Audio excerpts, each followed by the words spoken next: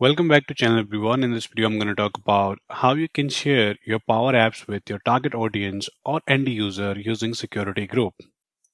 Generally, if we have to share our Power Apps with our end user, what we do is we go to the Power Apps, go to the share options, and there we search for username. Let's suppose I have a user Sarah, and I can provide them either a co-owner access or by default user permission is there.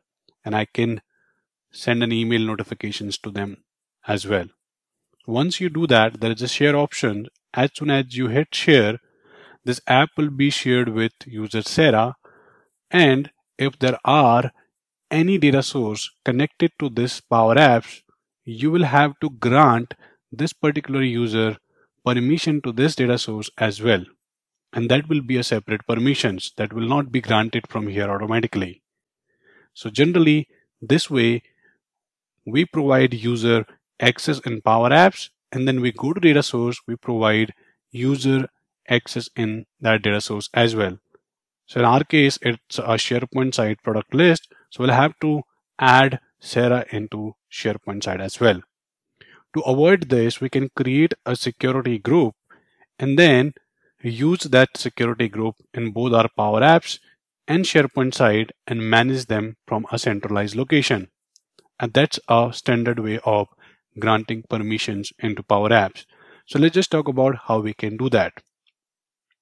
If you are a global admin in your organizations or you have M365 admin center access, you can create a security groups from there. If you don't have access, you can go to your myaccount.microsoft.com and once you go to your my group section, if you have access here to create a security group, you can create a security group from here by providing the name, description, and you can choose a policy.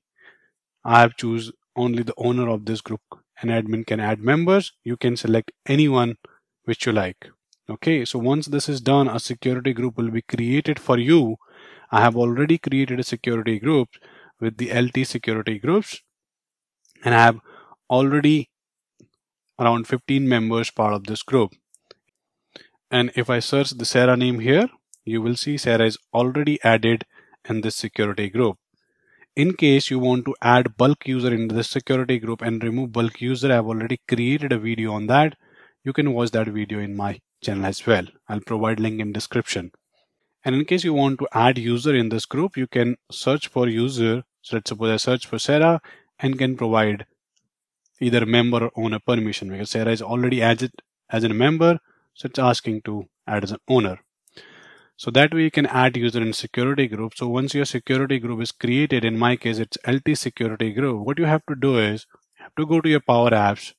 Instead of individual username, I will search LT security group. And by default, this group has user access. If I want to make them co-owner, I can do that as well. I can send them email notification as well. I'll click on share. And now this app has been shared with LT security group another browser and refresh the app. You will see I'm logged in as an Sarah account right? And uh, I have shared the power apps with Sarah and Sarah is able to access the power apps but however she's not able to access the data source. For that what I will do is I'll go to my SharePoint site, site permission, advanced permission setting. There is LTDEV members. Go to new, search for my security group that is LT security group and share the permissions with the security group. Just to explain you what happening here is I have created a security group with this LT security group name and added all the users to whom I want to grant permissions to Power Apps in this group. After that, I have referenced this group in my Power Apps permission as well as my SharePoint site permission. So next time if I have to add and remove users, I can directly manage it from my security group rather than going to my Power Apps share options and then going to my SharePoint site permission. So this way you can manage permissions directly through your security group. Now we'll check in our browser whether Sarah has received the appropriate permissions or not. It might take some time in case of security groups. So let's just wait for a few seconds. Now as you can see, I've logged in through Sarah account and Sarah is able to see both Power Apps as well as SharePoint data in my Power App.